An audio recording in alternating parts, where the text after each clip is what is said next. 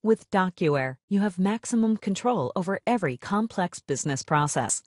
For example, look how easy approvals are with the DocuWare Workflow Manager. Invoices can be checked and approved simultaneously by multiple cost centers. If a colleague is away on vacation, the task is automatically assigned to a substitute. Every workflow achieves its goal in the shortest possible time.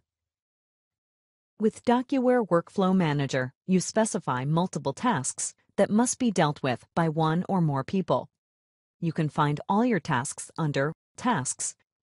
This takes you to a separate section where a task list is opened for the various processes.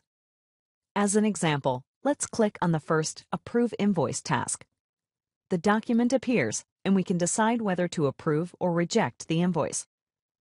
We select Approve and if the total amount is not covered by the cost center, we can specify a partial amount. Click on the next invoice.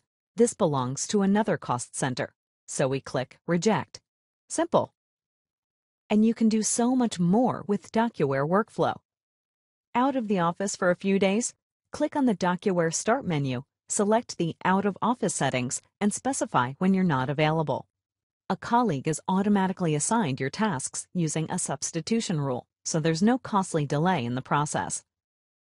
Of course, during this time, accounting has a precise overview of which stage the process is currently at. The DocuWare Workflow Manager's individual steps and workflow events are represented and defined using a graphical user interface. Called the Workflow Designer, it's an at-a-glance flow diagram. The tasks are essential here.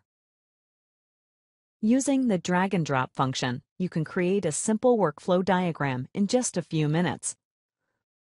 For more complex processes, loops, variables, and additional settings are available, so you can accurately represent these kinds of detailed processes in your company and digitally manage them using the power of DocuWare.